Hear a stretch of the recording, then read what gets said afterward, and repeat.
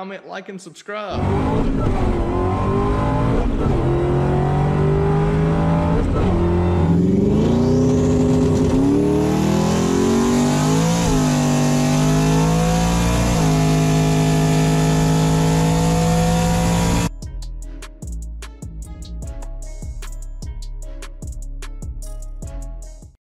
What's up YouTube?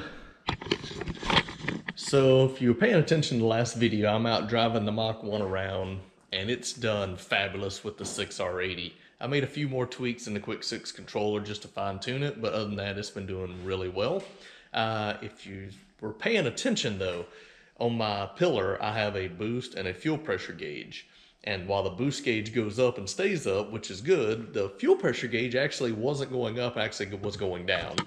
And after I watched the video myself, I was like, oh man, that seems to be a pretty big problem here. So I went out, anything three quarter throttle, it was holding pressure 40 to 60 pounds. As soon as you go wide open throttle, it was dropping fuel pressure. When I say dropping, it was dropping down to about 20, 25 pounds of fuel pressure. That is no bueno. So first thing I did was open the trunk. It's got two fuses and two different relays that feed each pump individually. Fuses were good, both relays were good, but I went ahead, pulled the relays out, and I swapped two other relays in it and went out and got on it and it still was doing it. So I'm like, you know what? I've been putting off an issue for a while and that is the feed line. So I went ahead and bought, this is number 10 PTFE line with a big 10 micron filter and all the necessary fittings. And what I'm gonna do, this car already has a return system built into it. It's got the Cobra tank with the Fore hat and the double pumps. They're like the 465 pumps in it, which should be fine for this combination. However, I'm still running the factory filter and feed lines. And I know that's a restriction, especially E85. These paper filters start to deteriorate. So I've got a stainless filter to replace that in inline. And you see my return line here from the front, that's number six. Now I'm gonna change out the feed line. We're gonna go number 10 from the tank. I'm gonna put the aftermarket filter here. We're gonna run number 10 all the way up here to the front and then we're going to go into the factory fuel rail. I've got adapters coming. This is going from a 10 to an 8, and then on the rail, it's actually an 8 adapter that's coming. But I just want to show you, this is the nice filter, and this is it, Evil Energy. I like their stuff. It's really good quality. And this is the Evil Energy uh, number 10, 20 foot length PTFE. So stay tuned. I'm going to put this line on it and see if that actually helps. It's going to help with the volume and the pressure. Um, what I think is happening could be a couple things. One is I just can't get enough volume to the front. That's what's causing loose pressure. Two, I feel like it could be drawing more voltage. And of course, with the pumps at lower voltage, it's not going to pump as hard. So for example, if they're 13 volts to the pumps, they're going to pump a lot more volume than they are at, let's say 11, 12 volts. So I verified my alternator is good, but I may have to figure out is something dropping in the voltage. So I'll we'll do that under more testing. But for now, I'm addressing the elephant in the room, which is a bigger feed line and a stainless steel filter just for E85. And we'll see what comes up from there. All right, well, that escalated quickly. And I think earlier I'd said something about the Fore hat on it, but this is actually the Lethal Performance Division X, which was the hot stuff back in the day. I've already changed this fitting. This is a screw in, the number 10 fitting on here goes right into the hat, no problem.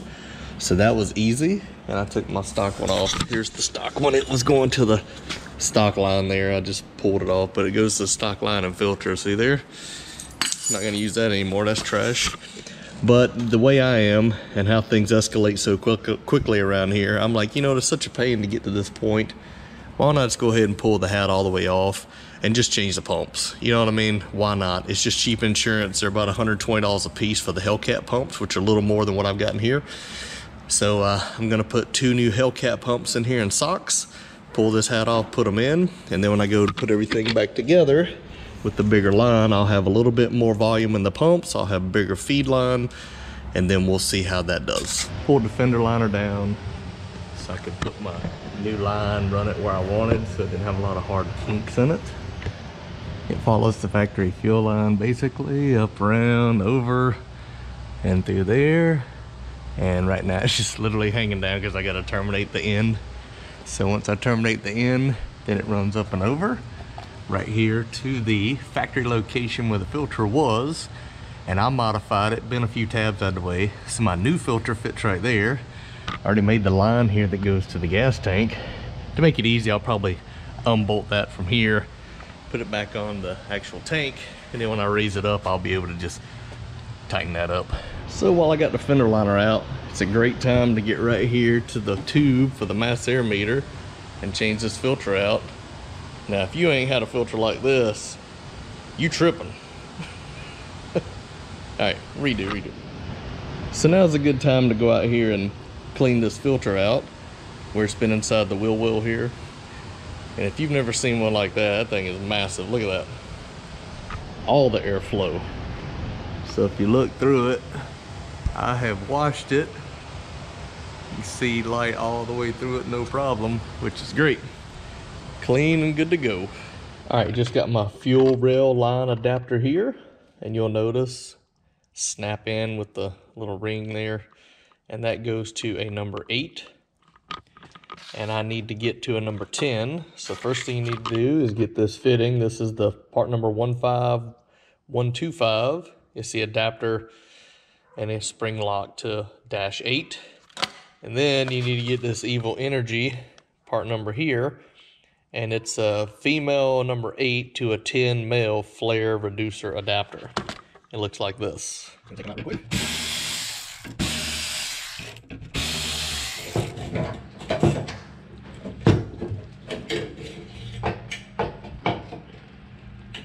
we go. So these are the 465 liter per hour pumps. And a couple things here.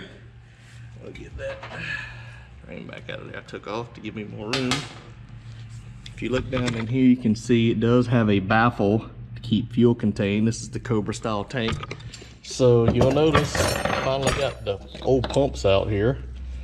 You can see it says TI on them, 267s. All right, so the two pumps just came in. TI Automotive, you can see there where it says they are the 525 liter per hours. And here it is on the side, 285. So these are the new ones. These are the old, what I told you, 267s. Yep, 267 and they look very very similar on the outside same uh, connector I think it's called a Delphi connector so plugs right in all right just show I got it mocked up in here I don't have my submersible line had to order someone to be here tomorrow so I have to put a pin in this so tomorrow but anyway so you've actually moved the pump around line it up in there like that right but I had to trim the nipple because it was touching it was making contact here and it wasn't quite fully seating here. And you want a certain distance here from the filter to the bottom of this bracket. Now let me show you what that means. You need this much clearance, 1.75 to 1.87 inch from the bottom of the basket there to the filter. So that's your range. You don't want it any deeper because it's going to hit and when you go to tighten everything down it's going to crush your filter. You don't want it too shallow because then it doesn't pick up what's in the bottom of the tank. But this is the sweet spot. So I shoot for 1.75 to 1.8 somewhere in that range and I've never had a problem. But to get that distance you need to make sure that the nipple clears so you can seat it because if not the pump sticks down too far. All right, got my pumps mounted. Finally got in my little bit of submergible hose here which wasn't much, but it finally came in. I want some of these new clamps to clamp it all down. So you don't need but just little pieces here, but you want to trim them enough that the pumps send all the way down flush. All right, got the pumps back in, got the tank up under the car, hooked up the battery, see the lights on, and I'm getting ready to go in here now and basically turn the key on to see if it's gonna prime the pumps and if I got any leaks. So let's see.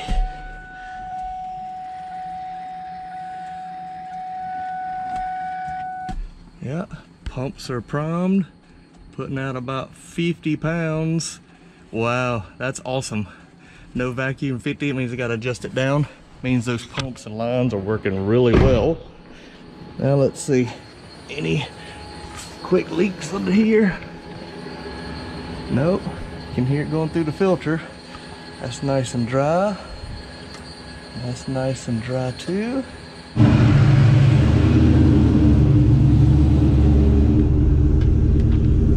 right, with the vacuum disconnected, we're at 52 pounds pressure. So I'm gonna adjust that right here.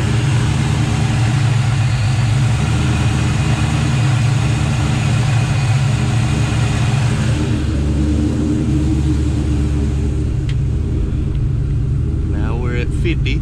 So I'm gonna adjust it some more to get it down about 44, 45 pounds and we'll see how that goes. All right, now it's set. It's exactly 44 pounds with no vacuum. Now we're gonna hook our vacuum back up.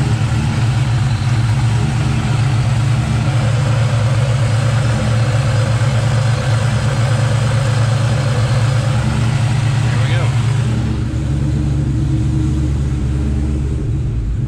You can see with the vacuum, it's dropped down to about 40.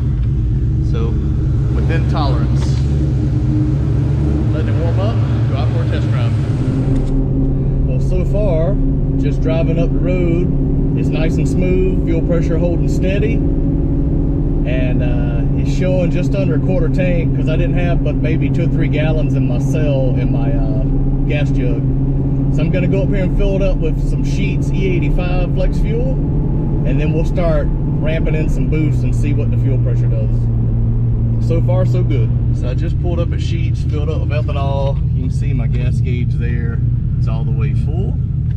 And literally as I was doing that, the local police just pulled a Dodge Charger. I didn't see what he was doing unless he was speeding through town, but not a good way to start your Sunday.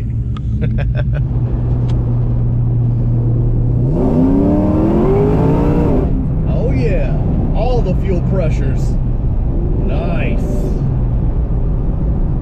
That's what I've been needing. Definitely feels like it's got more power now because it's got more fuel. But that gauge went up and stayed up. Awesome. Pretty quick test. Everything's working really good.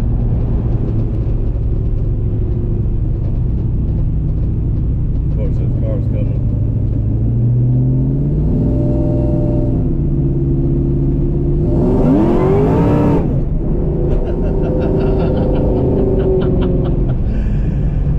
Woo-wee. Man, this thing is fast.